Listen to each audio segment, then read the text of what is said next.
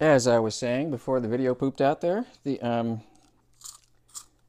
for this third example of how a handle, the structure of the handle might attach.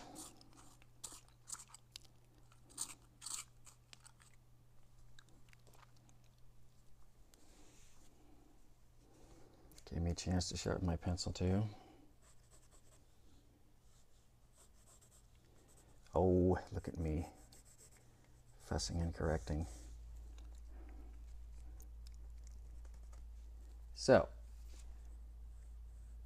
was sort of imagining it starting from the back side here. If this is the top, imagining sort of dropping a, line that that would the the attaching box would follow. It gets kind of wacky because it's at the turning part of the ellipse, but I'm going to try to keep it simple here. And it's going to need to sync up with this center line. I didn't finish it, but that's not critical.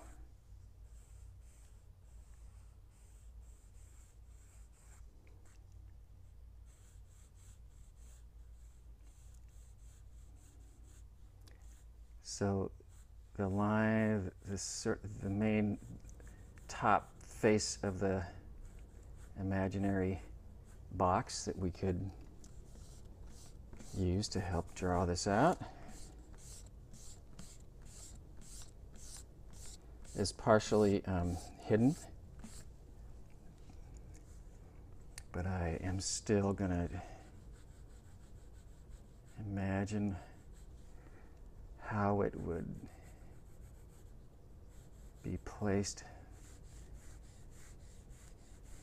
in three-dimensional space to get a good idea of how to get started.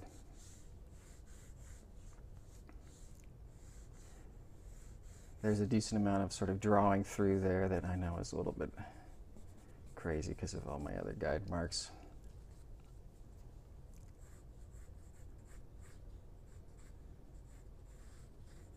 But hopefully you can sort of imagine where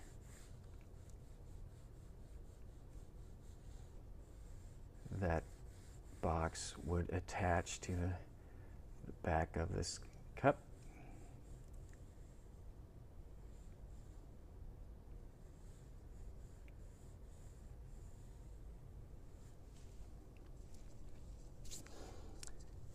So really the uh, the important part for drawing this particular angle of a handle of this particular mug. Is going to be trying to imagine the top part fitting into that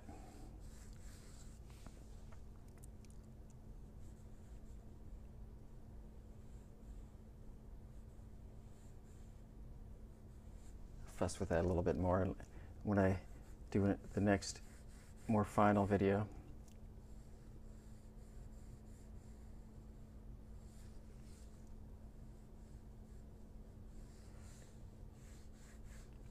And from there, I'm going to sort of lean back and see how that seems.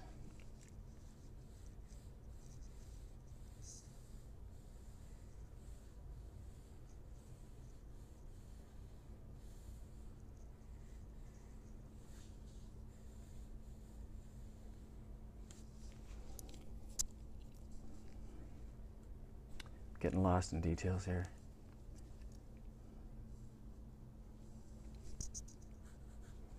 That seems okay. But that would be sort of the uh, the box I would use, and then from there,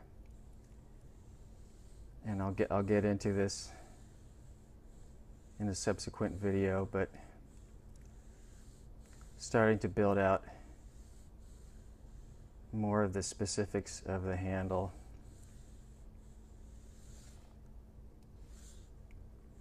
Oh heck, while I'm here, um, I would I would start with the curved ear part. The whole thing is a bit of an ear.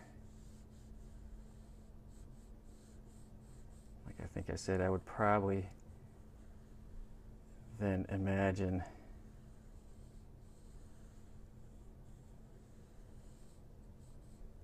Yeah, I may, I may not.